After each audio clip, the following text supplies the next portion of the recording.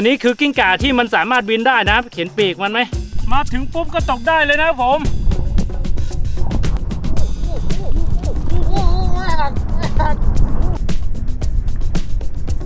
โอ้โหหอยนางรมตัวเบ้อเร่อนี่ฮะโอ้โหโคตรใหญ่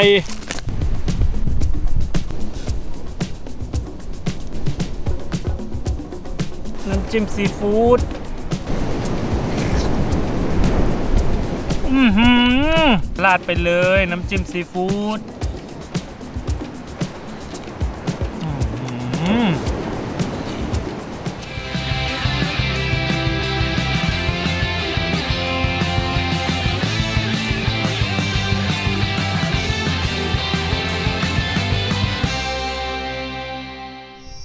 สวัสดีครับโยผมโจโฉนะครับ ตอนนี้เนี่ยผมมาอยู่บนเกาะนะ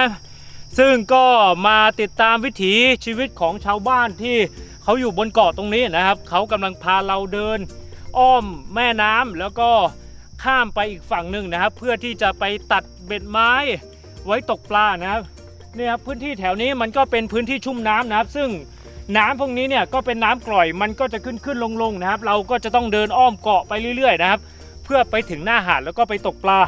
นี่ผมมีมีดมาด้วยนะ เราก็จะต้องไปตัดเบ็ด แล้วก็ทำเป็นเบ็ดไม้แบบชาวบ้านชาวบ้านเลยนะ เพื่อที่จะไปตกปลานะครับมาพี่เขาเดินข้ามไปแล้วนะครับ เราก็จะต้องเดินตามไปนะครับ ข้ามแม่น้ำตรงนี้ไปโอ้มานี่ครับมานี่ผมเจอปูผมเจอปูว้าว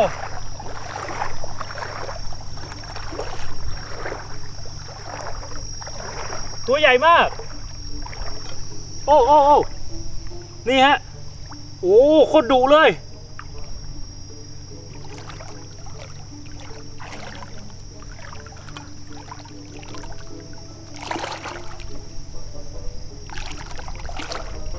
โอ้ มันหันหน้าหาเราเลยนะ ผมก็ไม่อยากโดนมันหนีบสักเท่าไหร่นะฮะ โอเค ฮะ เค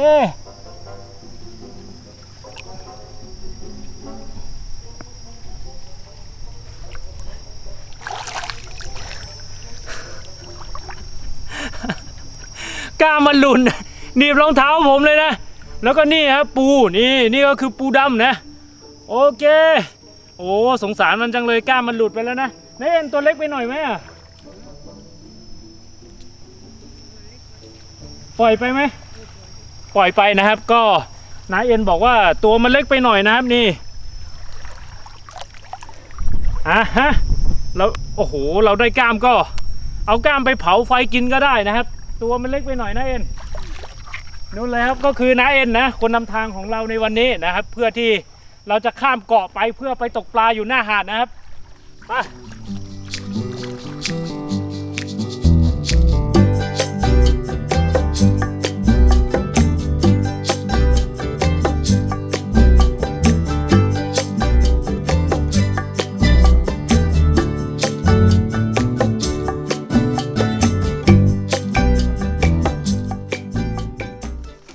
เอาละครับตอนนี้เราเข้ามาถึงในป่าของดงต้นละกรรมนะ เราก็จะตัดทางละกรรมแบบนี้ แล้วก็นำไปใช้เป็นเบ็ดตกปลานะครับอ่าผมก็ช่วยถักหนังไอ้น้ำออกแบบนี้แล้วก็ทางนู้นฮะนาเอ็นก็จะเป็นคนที่ตัดคันเบ็ดนะ ให้เรา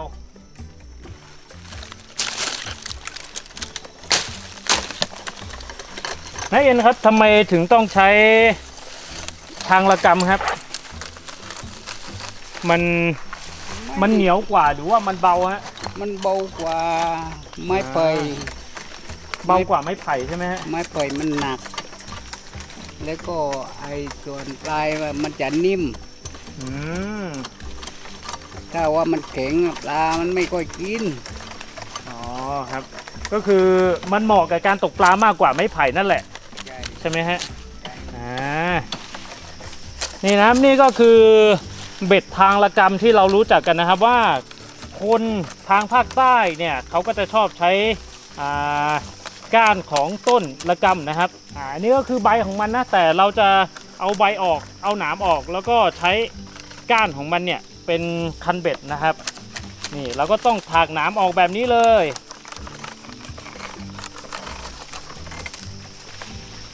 ต้องระวังด้วยนะครับ เพราะว่าหนามของมันเนี่ยยาวมากๆ ถ้าทิ่มเข้าไปในมือเนี่ยอาจจะเจ็บไปอีกหลายวันนะครับ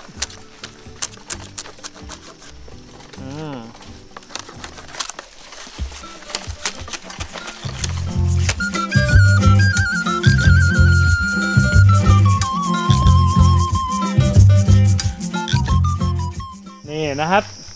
ได้แล้วเรียบร้อย โอ้ยาวมากแล้วก็น้ำหนักเบานะ คือมันเหมาะกับการตกปลาแบบระยะไกลนะครับ อันนี้ก็คือ วิถีชาวบ้านนะครับ แล้วก็ต้นของมันก็คือต้นนี้ฮะนี่นี่นี่นี่อันนี้คือต้นละกำนะครับ มีหนามหนามๆแบบนี้เลยนี่ฮะมาทางนี้ นี่ อันนี้ก็คือ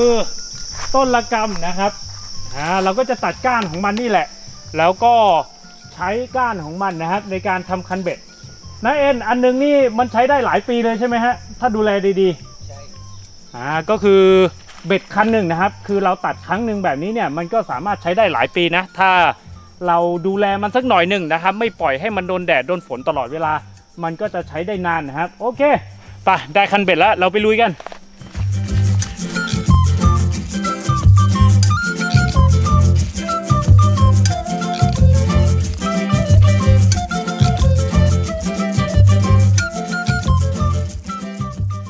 นี่ครับทุกคน นายเอ็นจับได้กิ้งก่าบินตัวหนึ่งนี่ อันนี้คือกิ้งก่าที่มันสามารถบินได้นะ เขียนปีกมันไหมนี่น่ารักมากเลยนายเอ็นบอกว่าตรงนู้นมีอีกตัวหนึ่งด้วยใช่ไหมฮะตรงต้นไม้ ใช่ฮะสวยมากเลยนี่ นี่ครับท่านผู้ชมดู นี่ครับกิ้งก่าบินมันจะมีกระดูกซี่โครงแบบตามลำตัวยาวๆแบบนี้นะครับ แล้วก็มันจะมีแผ่นหนังเชื่อมระหว่างกระดูกซี่โครงแต่ละซี่นะครับ แล้ว เวลาที่มันปีนต้นไม้เนี่ยมันสามารถที่จะกระโดด แล้วก็กางกระดูกซี่โครงของมันนะครับ แล้วก็ล่อนอยู่บนอากาศได้นะครับ อันนี้คือวิธีการของเจ้ากิ้งก่าบิน แล้วก็เราสังเกตดูตัวของมัน มันจะผอมมากเลยนะนี่ตัวมันจะผอมๆเพื่อให้น้ำหนักของมันเนี่ยเบานะครับ เวลาที่มันกระโดดเนี่ยมันก็จะลอยอยู่กลางอากาศได้นานนะฮะเมื่อกี้นะเอ็นบอกว่าตรงนั้นมีตัวหนึ่งด้วยนะครับ แต่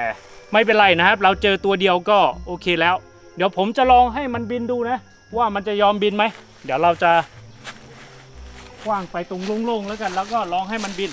ดูนะ อ่าปุ๊บไปแล้ว โอ้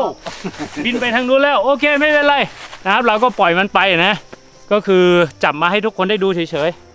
ๆ โอเค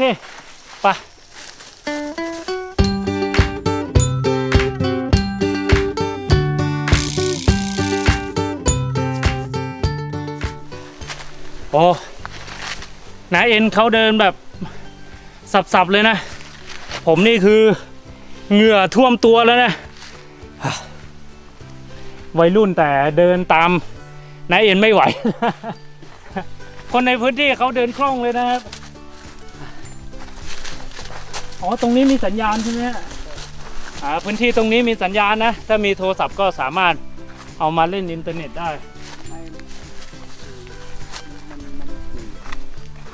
ตามจากบ้องรู้หมายว่าอ๋ออันนี้ก็คือสันเขาระหว่างสองฝากใช่ไหมฮะใช่อ่าตรงนี้คือครึ่งทางแล้วนะ เรามาถึงครึ่งทางแล้วไปฮะ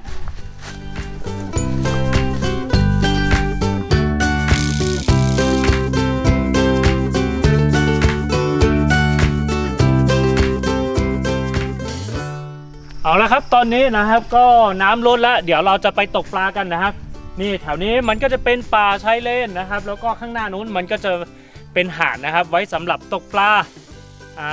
หน้าหาดเลยนะนี่โอ้เบ็ดก็ยาวมากนะดูฮะนี่แบบนี้เลยไปะเดี๋ยวเราไปตกปลากัน ทุกคนเขาไปกันก่อนแล้วนะ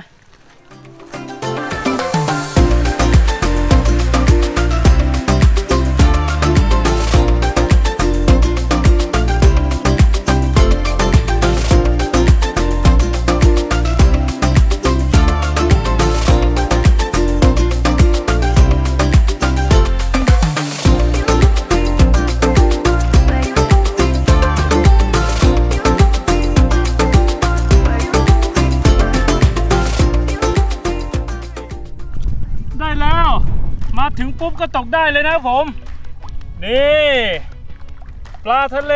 ปลาตัวนี้มันมีชื่อว่าปลาข้างไฟนะครับ นี่ โอเคได้แล้วตัวแรกตัวแรกอะฮะโอ้โอ้โอ้นี่ครับตัวแรกตัวแรก สวยงาม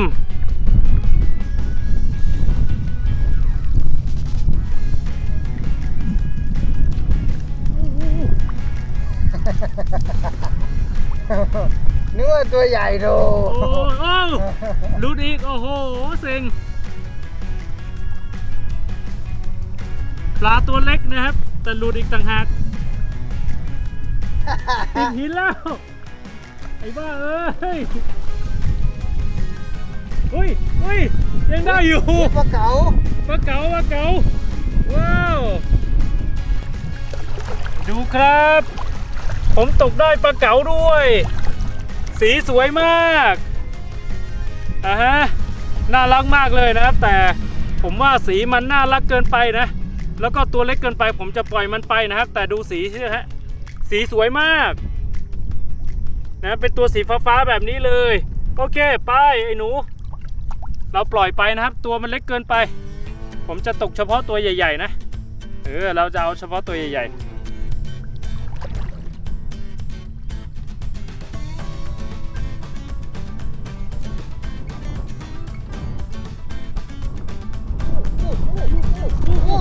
หักไม่หัก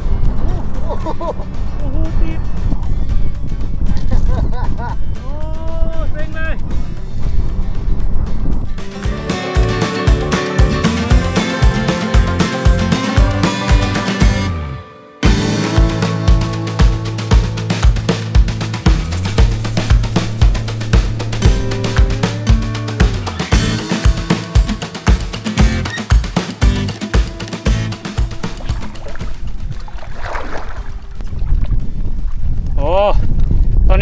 ไม่ได้นะ แต่พี่ก๊อตงมจับหอยนางรมโอ้ตัวใหญ่นะ นี่ฮะ อันนี้คือทั้งตัวเลยเหรอพี่ ใช่ครับ โอ้โหหอยนางรมตัวเบลเลอร์ ตัวใหญ่มาก อันนี้คือหอยอะไรพี่ หอยคลางหอยแข้งขน หอยแครงขน ใช่ อ่า นี่ ตัวใหญ่ๆทั้งนั้นเลยนะ โอ้หอยนางรมสดๆจากทะเลนะครับอะอันนี้ก็ หอยหอยแครงขนสลับไหมมาตกปลาไหมตกปลาไม่กินเลยพี่ก๊อตงมปลาเอ้ยงมหอยไปก่อนนะฮะโอเค ว้าวโอ้โหเต็มเต็มกระเป๋าแล้วนะ อันนี้คือหอยนางรมล้วนๆเลยนะฮะยังมีกงดูฮะไม่เจอนี่ฮะโอ้โหโคตรใหญ่ คือตอนนี้ในกระเป๋าเหมือนผมแบกหินเลยนะ เหมือนแบกหินซะมากกว่า โอเค ผมจะเอาขึ้นฝั่งไปก่อนดีกว่านะ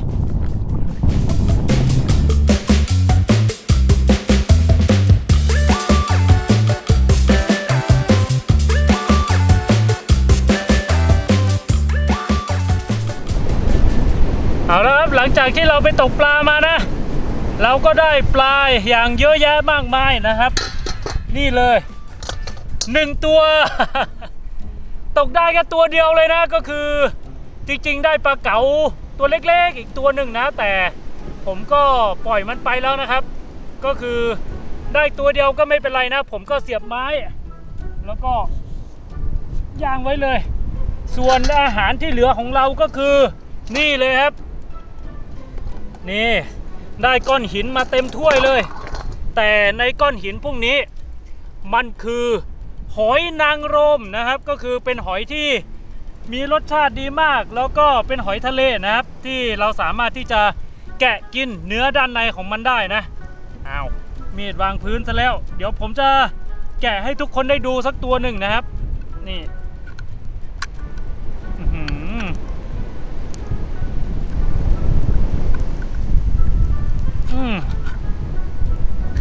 แต่การแกะหอยนางรมเนี่ยก็จะต้องระวังมือด้วยนะครับ เพราะว่าหอยพวกนี้เนี่ยมันคมมากอืม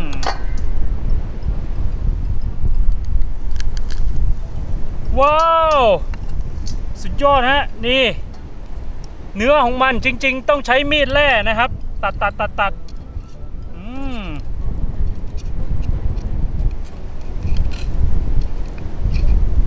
ตัวใหญ่มาก อ่า นี่เลยฮะ หอยนางรมพวกนี้เนี่ย ก็จิ้มน้ำจิ้มซีฟู้ดแล้วก็กินสดๆก็ได้นะครับ หรือว่าเราจะเอาไปเผาไฟไปย่างไฟก่อนก็ได้นะครับ ตัวนี้เดี๋ยวผมจะไว้กินสดๆแล้วกันนะครับ อ่า ไว้กินสดๆ ส่วนตัวอื่นๆเนี่ย เดี๋ยวผมจะเอาไปเผาไฟก่อนนะครับ รอให้ไฟมันติด แรงกว่านี้ก่อนแล้วก็เดี๋ยวจะเอาไปเผาไฟแล้วก็กินกับน้ำจิ้มซีฟู้ดนะครับ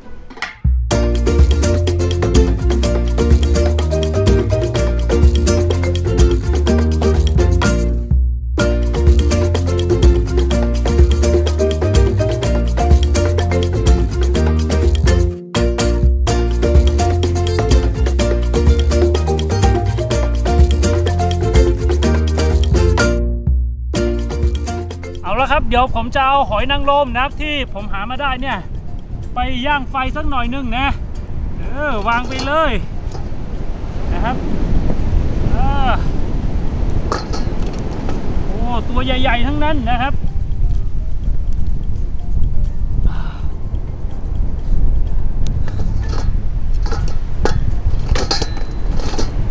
นี่ โอเค ก็รอให้มันสุกนะครับ เดี๋ยวผมจะเปิดแล้วก็เอามากินนะครับ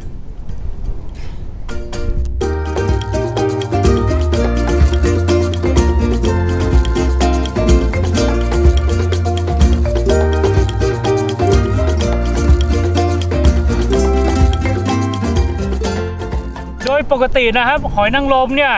เขาก็จะนิยมกินกันแบบสดๆเลยนะครับ ก็คือจับขึ้นมาแล้วก็ เปิดออกแล้วก็กินแบบสดๆเลยนะครับแต่สาเหตุที่ผมไม่กินแบบสดๆเพราะว่าหอยนางรมพวกนี้เนี่ยมันตัวใหญ่เกินไปนะก็คือถ้ามันตัวเล็กๆเนี่ยก็ยังพอทำใจกินได้นะ แต่โอ้โหมันตัวดูสิครับ มันตัวเท่ากับฝ่ามือเลยอะ่ะมันใหญ่เกินไปนะ เวลาที่เรากินเนี่ยมันก็จะตัวใหญ่แล้วมันก็จะเหนียวนะครับ อาจจะติดคอได้ผมก็เลยคิดว่า เผาไฟสักหน่อยให้มันสุกดีกว่านะครับ ก็ เพื่อความสบายใจของผมด้วยนะครับ มันตัวใหญ่เกินไปก็เลยไม่ค่อยกล้ากินนะครับ อ่า ส่วนปลาก็ได้แค่ตัวเดียวฮะ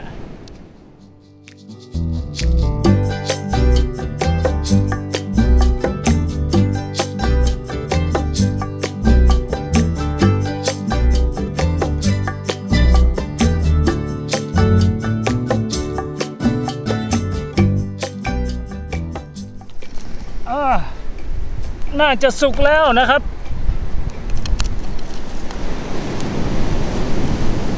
นี่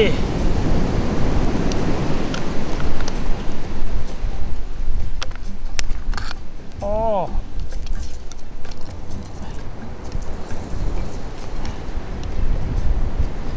โอ้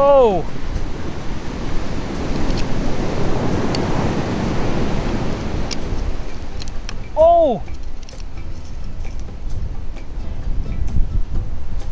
อืม โอเค นี่ นะฮะ เอาละโอ้ มาครับ โดยปกติเนี่ยหอยนางรมเนี่ย มันจะเปิดยากมาก ๆ นะครับ แต่ถ้ามันตายแล้วเนี่ย มันก็จะเปิดง่ายมากขึ้น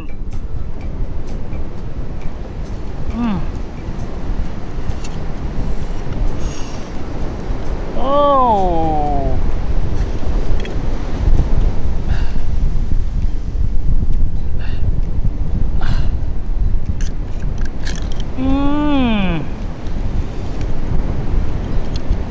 ี่ฮะ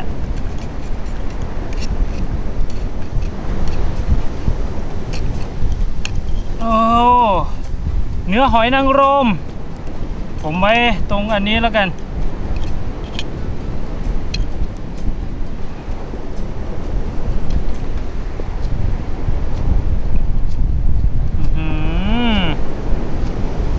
นี่ครับ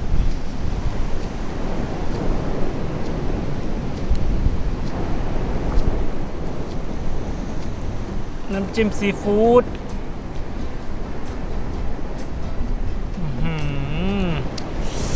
มา อือหืสุดยอด อืม อร่อยมากมากโอ้ ร้อน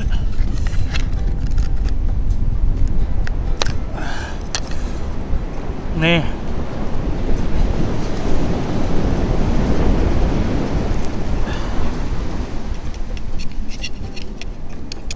อ่า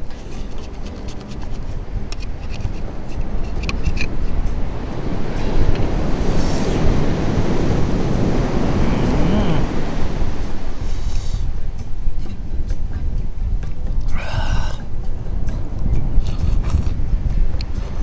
อื้อหืออ่า เนื้อหอยนางรมเนี่ย เป็นเนื้อหอยที่อร่อยมาก ๆ อยู่แล้วนะครับอ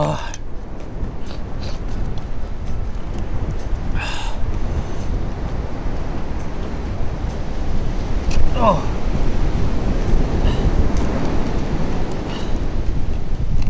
พอเราย่างไฟปุ๊บมันก็จะเปิดง่ายมากขึ้นนะครับ ตัวนี้ตัวใหญ่มาก ดูฮะ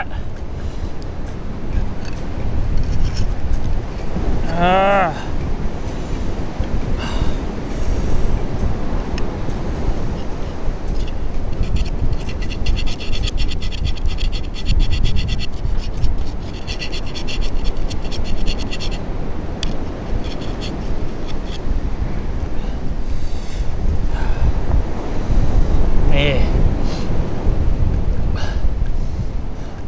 รเคยกินหอยนางรมตัวใหญ่ขนาดนี้ มาก่อนก็บอกผมด้วยนะ อันนี้คือแบบตัวใหญ่มากนะครับ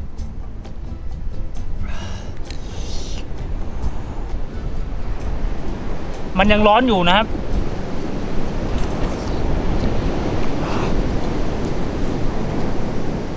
อ่า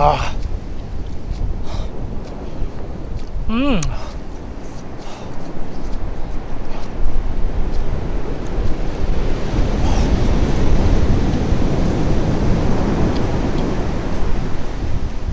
อื้อหือสุด ยอด อ่า ตรงนี้มันมีเส้นเอ็นอยู่นะ เสียดาย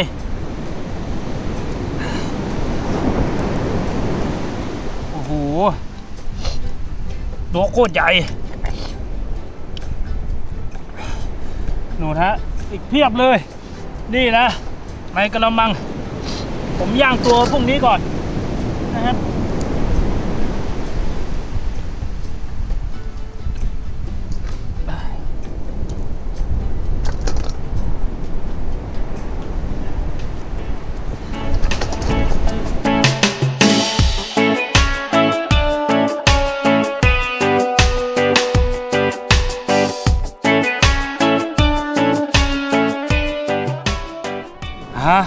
ชุดนี้นะผมย่างแค่ให้พอสุกนะครับ ให้มันตายแต่ความสดเนี่ยมันยังสดมากนะครับ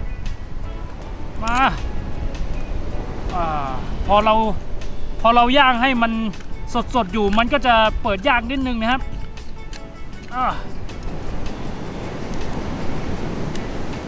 โอ้โอ้โห นี่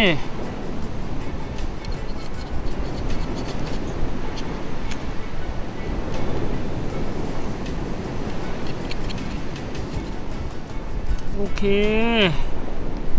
นะครับ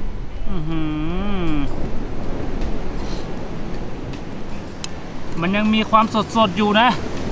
นี่ ต้องเอาให้มันหลุดออกจากเปลือกหอยก่อน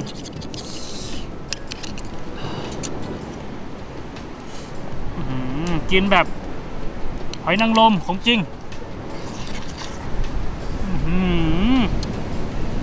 อ่ามันจะมีความหวานนะ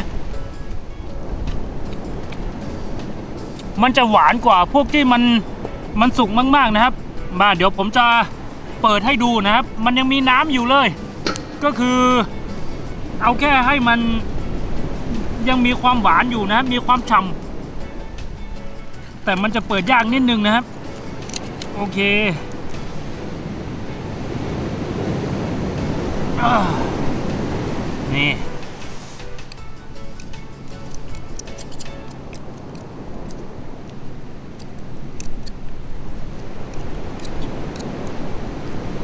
หอยนางรมช่ำๆ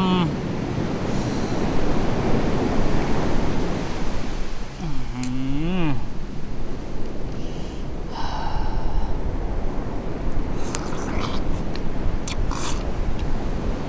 อ๋อสุดยอด นี่แล้วก็ ผมหาได้หอยอันนี้มาด้วยนะ จริงๆเนี่ยก็คือพี่ก๊อตนะครับ เป็นคนที่ช่วยผมหาเพียงแต่ว่า ไม่มีใครกล้ามาออกกล้องกับผมเลยนะชวนคนนู้นคนนี้ก็บอกว่าออกเลยออกเลยคนเดียวนะ สุดท้ายผมก็ต้องมานั่งกินคนเดียวนะครับ แต่ทุกคนเขาก็ได้แบ่งส่วนหนึ่งไว้แล้วนะ ไว้สำหรับย่างกินนะครับ มายังเหลือหอยนางรมอีกสองตัวแต่เดี๋ยวผมจะย่างหอยเอ่อ หอยตัวนี้ผมจำชื่อไม่ได้แล้วรู้สึกว่าจะเรียกว่าหอยครางขนนะครับ หอยแครงขน เออ โอเค เผาไปด้วยเออ้อ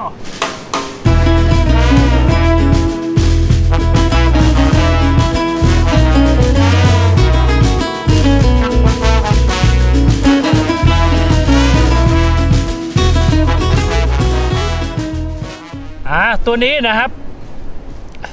ตัวนี้ยังสดๆอยู่เลยนะ มาม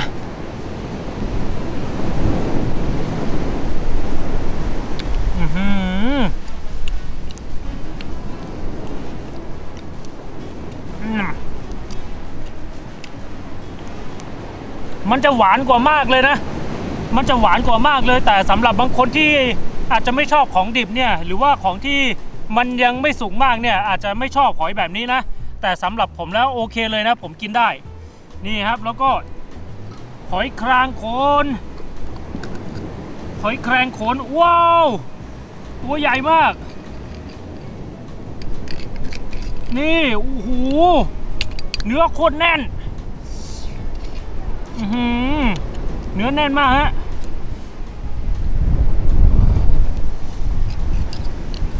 อ่า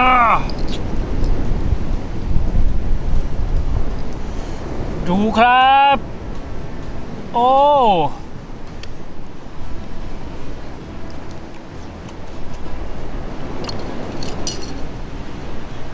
อืม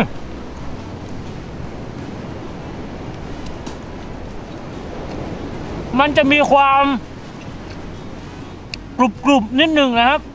มันจะเหนียวกว่า อืม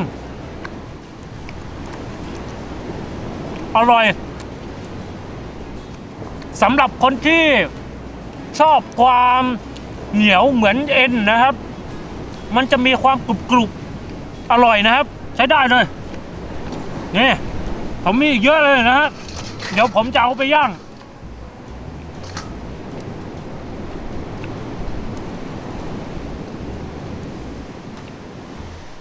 นี่ไฮไลท์หลักของเรา เนื้อปลานะครับ วันนี้เนี่ยจริงๆแล้ว เราตั้งใจไปหาปลานะ แต่ก็ได้แค่ตัวเดียวนะครับ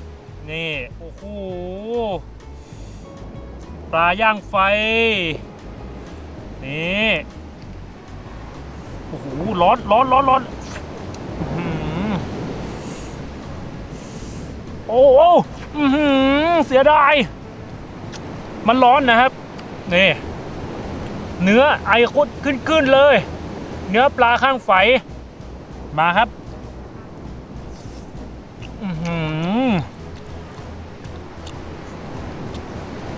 เนื้อปลาทะเลนี่มันดีหมดทุกชนิดเลยนะครับ เนื้อมันค่อนข้างที่จะแน่นเลย อืมอร่อย อืม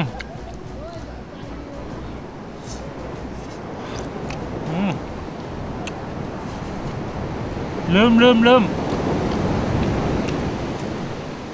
เติมน้ำจิ้มซีฟู้ดนะครับ อืมโอเค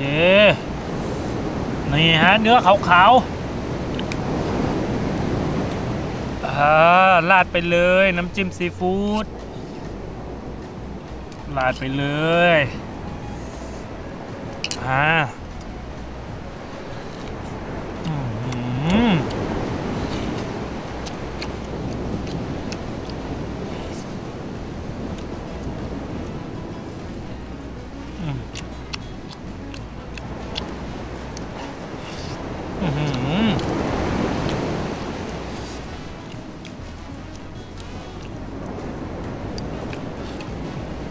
ว้าว สุดยอด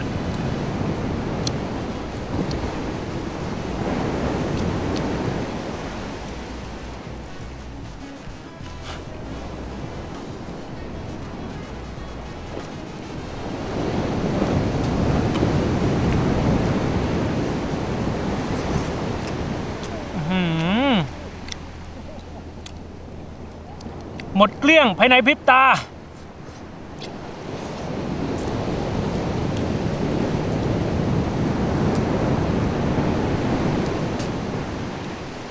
เหลือแต่หัวนะครับ โอเค ก็สำหรับคลิปวิดีโอนี้นะครับ ผมตั้งใจว่าจะไปหาปลาทะเลแต่สุดท้ายก็กลายเป็นหาหอยทะเลแทนนะครับ ได้กินหอยแทน โอเคครับ ไว้เจอกันใหม่คลิปวิดีโอต่อไปครับ อย่าลืมกดไลค์กดแชร์กับผมเพื่อเป็นกำลังใจด้วยนะครับบ๊ายบายไปละไว้เจอกันใหม่ครับ